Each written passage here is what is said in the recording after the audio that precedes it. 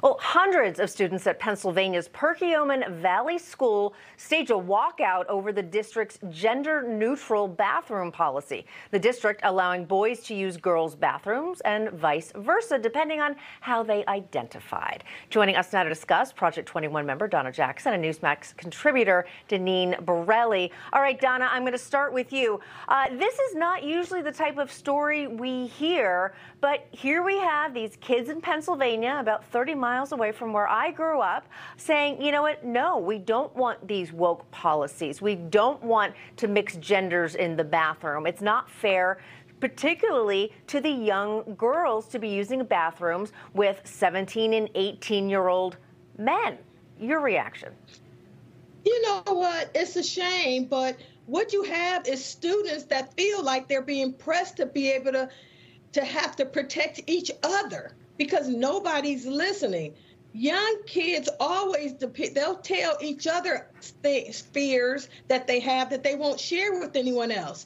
And right now, the parents are being attacked when they say that they don't want these kind of policies. But you have siblings, brothers, sisters that want to protect their si- siblings that know that they're afraid to use bathrooms and to see something that they feel is impro- uh, inappropriate young girls automatically have more insecurities and they have more fears. And I think to put them in a situation where they feel extremely uncomfortable, where they have to see body parts that they're not mature enough to handle or don't want to, is, is a travesty. And it's a shame that it's taking other students to stand up for, for it. I mean, mm-hmm. I have a young daughter that won't go to the bathroom to change her clothes after gym because she's afraid that a boy might come in the bathroom. This is something that I'm hearing from young children everywhere. And the fact that these people are letting one small group destroy the comfort and mentally hurt young girls mm-hmm. and destroy what it means for them to be female we as a nation should be ashamed.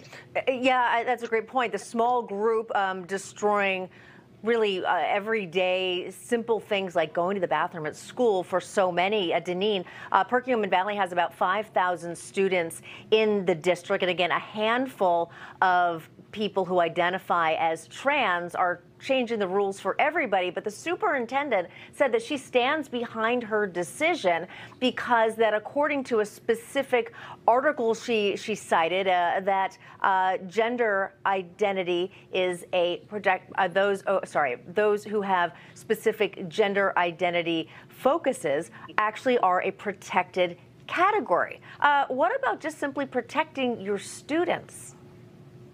No, you're absolutely right. And look, uh, it's unfortunate that these students had to take these these kinds of steps and actions, but we need more of this. Uh, this is outrageous, and it's and it's about protecting our female youth and, and our females in general. Males do not belong in female sports, locker rooms, showers, changing rooms, bathrooms. They just do not belong there.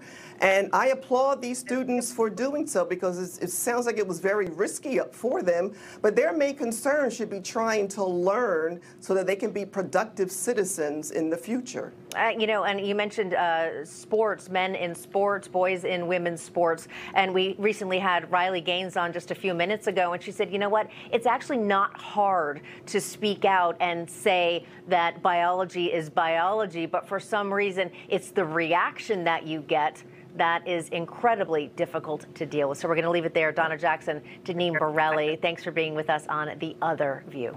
Thank you.